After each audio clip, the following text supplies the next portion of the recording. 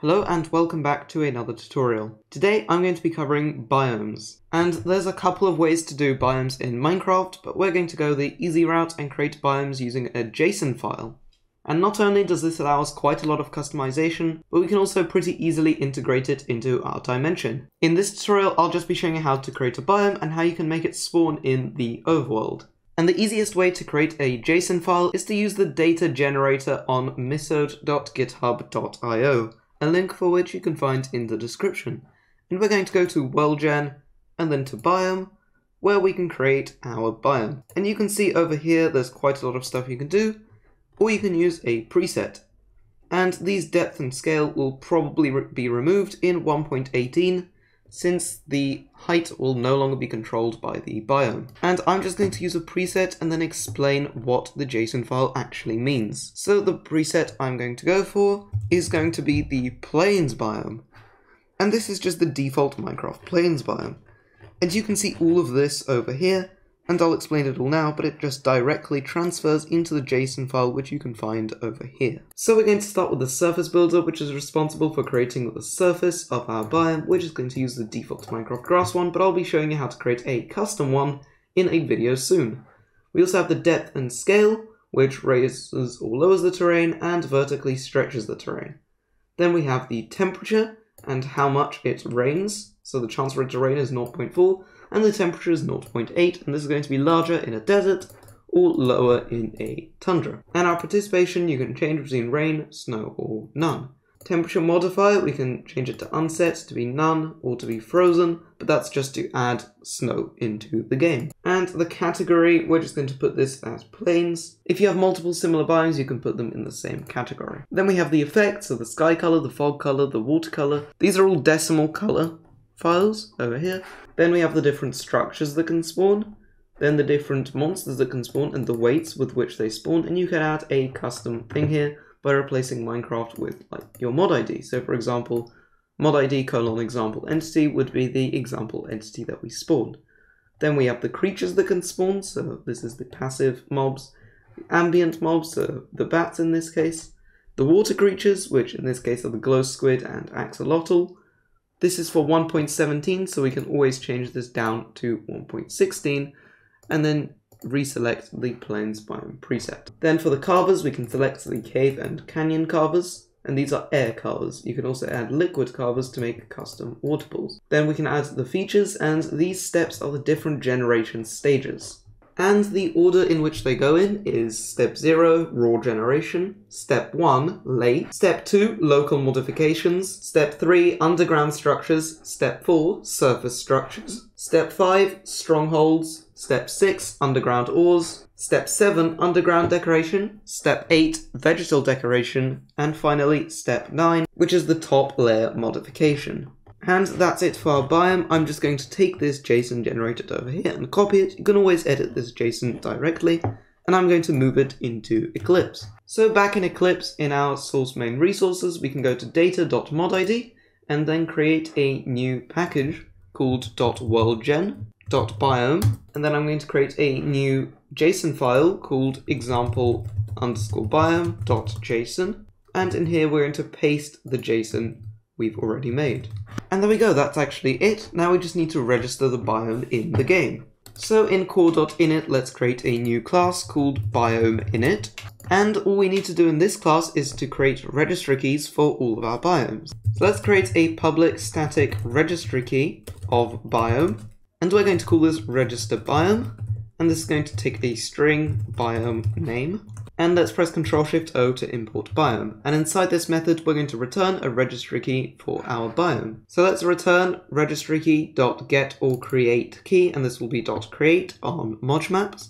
And here we're going to put registry dot biome key, and in Mojmaps this will be biome registry. And then we're going to pass in a new resource location. And inside this resource location, we're going to pass in our mod ID, so tutorialmod.modid, and then the biome name. Now let's actually use this register biome function. So let's create a public static registry key of biome, and we're going to call this example biome, and we're going to set it equal to register biome of example biome. And now we've created a registry key for our example biome. If we wanted to create another one, we can just copy this line, change this to something like example biome 2, and make this example biome 2. And we want to make sure this name is exactly the same as what we've named our JSON file. However, we won't be able to load this biome up without actually adding it to a dimension or to the existing overworld, so let's do that. Let's create a public static void called register biomes, and in here we're going to add the biomes to the overworld. So all I'm going to do is biome manager dot add biome, then we pass in the biome type, so biome manager dot biome type, and then we pass in the type. This is going to be a cool biome, which is the plains biome. So I'm going to set this to cool. And then we pass in a biome entry. And to do that, we can create a new biome manager dot biome entry. And all we need to pass in here is our registry key, so example biome, and the weight. And I'm just going to give this a weight of 10 so it generates quite commonly and it will be easy to find in the world. Now all we need to do is just call this register biomes function and we can do that over in our main class. So all we need to do under here is biome init dot register biomes. And we're also going to create a deferred register for our biome just to make sure that it generates in the world properly. So let's create a public static final deferred register of biome. And I'm going to call this biomes and I'm going to set it equal to deferred register create forge registry dot biomes and tutorial mod mod id. And under here we're going to create a public static registry object of biome and we're going to call this create biome where we're going to pass in a string biome name and a supplier of biome called biome. And in here all we're going to put is return biomes.register the name and the biome supplier.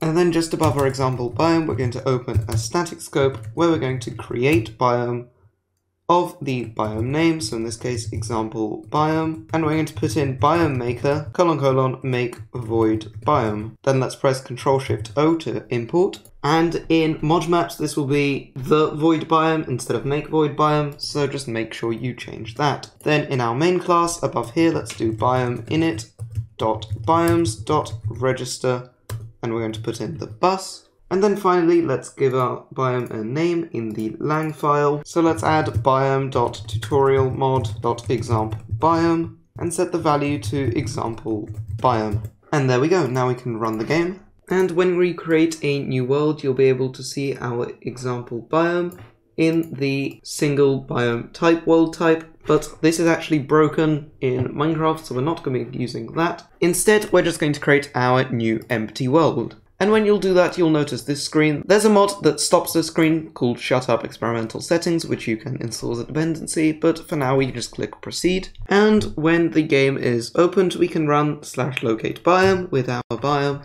And you can see it's found our example biome 998 blocks away. So let's teleport to that biome.